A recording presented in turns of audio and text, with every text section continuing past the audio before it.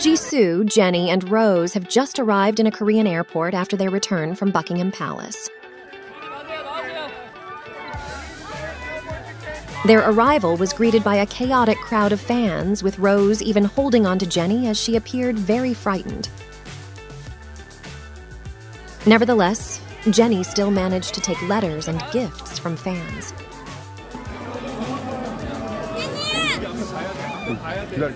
And once again, Jisoo received a large Hello Kitty doll from fans.